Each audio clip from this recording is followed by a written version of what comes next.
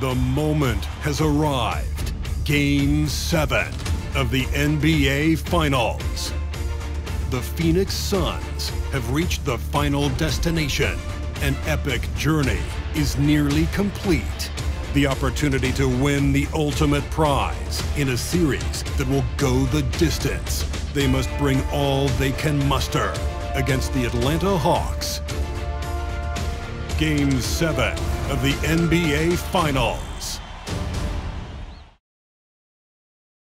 It's a rare and wonderful thing for the NBA Finals to come down to a single game. And after an intense series, these teams are ready to do whatever it takes to walk away with the win.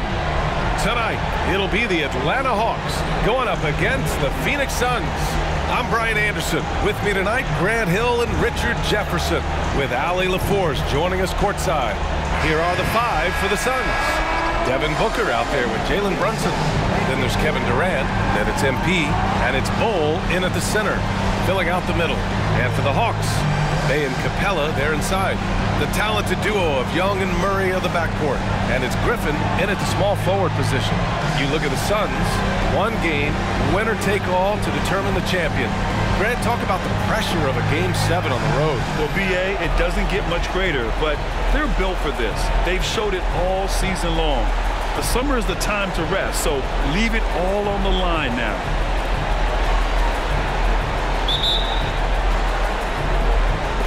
So Atlanta will get the first possession. Now Young. Because he is an unselfish point guard. And Booker puts up a deep three. Ooh, he released it in time, but it's off the mark. And we're through the first half of play here in what's been a good one. The Hawks on top, up two.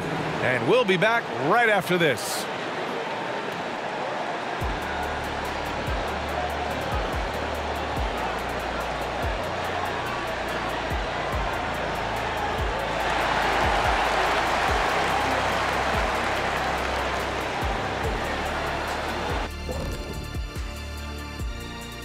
Greetings, one and all. The postseason drama we love, and no disappointment here as it's a close game so far for the Atlanta Hawks. Well, they're taking care of the ball. That's one thing. It feels like they just want to avoid empty possessions. And for the most part, they have. Like Shaq Stradamus, their advantage is foresight. Mm, we see things others don't. Yama, yama, yama, yama.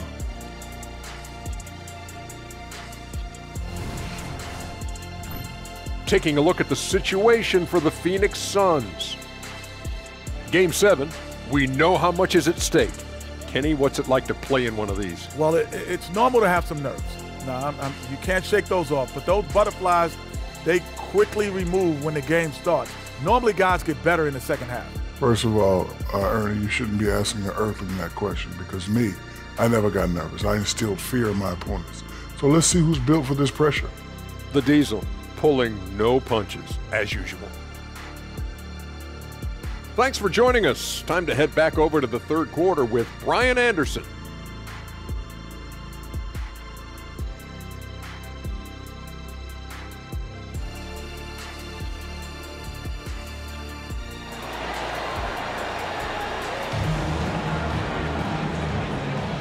And here we go. The NBA Finals continue here on 2K Sports. Hey, you look at MP in this game. He's been everywhere. And if he felt any pressure coming into this game, he sure hasn't shown it. NBA Finals run, they capture the hearts of not just their fans, but basketball fans around the league. An incredible ending to one of the more dramatic finals we've seen. Counter punches thrown between these teams for seven games. We say it often, it's too bad you can have only one winner, but they deserve it. And what a huge performance it was for MP. He was just dropping dimes left and right out there. Any opening that the D provided, he exploited it and found his teammates. There's Young with the three. Misses there. Oh, and it's over. The Phoenix Suns are the new NBA champs. Thank you once again for coming out to cheer with your team. They go on the road and take care of business, and now the championship is theirs. to be on the road, to silence the crowd, winning a championship with all of it on the line. What an incredible performance. Hats off to this team. An incredible moment. You can see it in their faces. Forever known as NBA champions. And you can bet back home the celebration has started. Time now to send it to Adam Silver, the commissioner of the NBA, for the trophy presentation. Time now for the trophy ceremony. NBA Commissioner Adam Silver, ready to present the Larry O'Brien Trophy to the champions.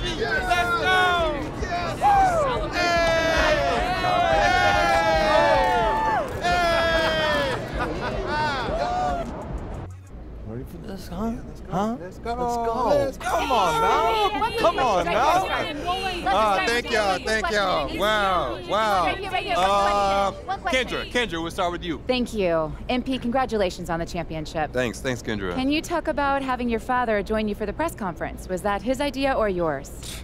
His, for sure. There's no way I was gonna let him sit up here and take credit all by himself. You have ah. any idea how many times I shagged balls for this kid at 2 a.m.? that's true, that's true. But it's only because he felt guilty he didn't work nearly as hard when he was in the oh, league. I want to tell you about them false narratives. Come on now. nah, nah, he knows I'm just playing. Oh, man. Uh, look, uh, to be serious, though, it was my idea. Um, I wouldn't be here without my family. They're everything to me. Not just my dad, but my grandpa. You know, y'all know him as Truck.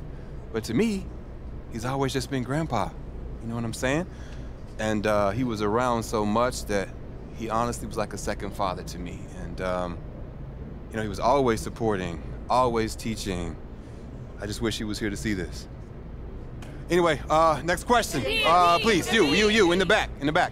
有人说您是继已故科比布莱恩特之后，在中国最受欢迎的 NBA 运动员。您对这件事有什么感想？There are some who say that you're the most popular NBA athlete in China since the late Kobe Bryant. How do you feel about that? Uh, wow.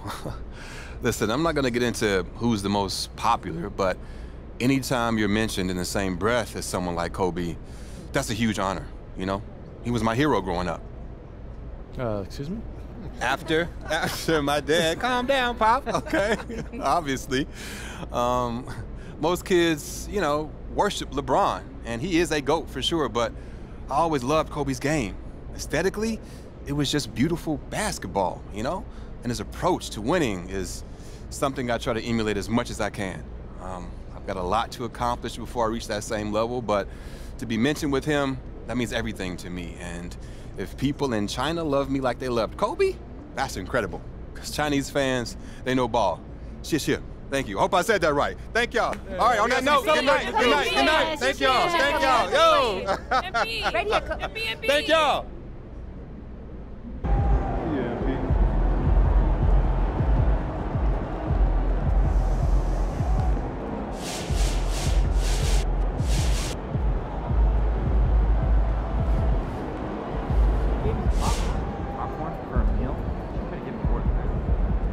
So now that MP's won Rookie of the Year, MVP, a championship, Finals MVP, and in your own words, has the most impressive start to a career in NBA history. What's next for the new undisputed GOAT, Sam? Well, first of all, he is not undisputed as GOAT. I feel like a broken record at this point, but he's got to do it all over again at least a few times. So you're saying he'll bust? That's not what I'm saying. Then what are you saying? That if he wants to be considered the greatest of all time, he's got to win a lot of championships and he's got to be the most important player on his team when he does it. So you, you think he won't? I didn't say that. All right. What chance do you give him becoming the GOAT? I don't know, 30%? That's it? That's a high number, man. Look at Brandon Roy, Yao Ming, Tracy McGrady.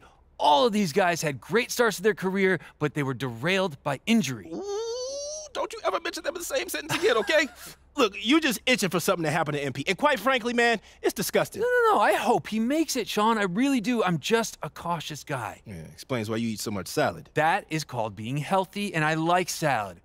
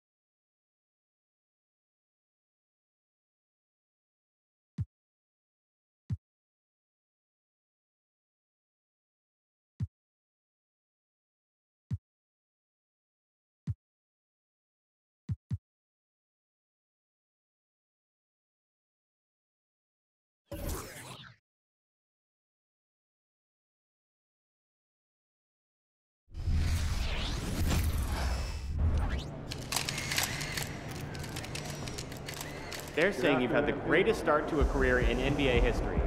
I'm saying, duh.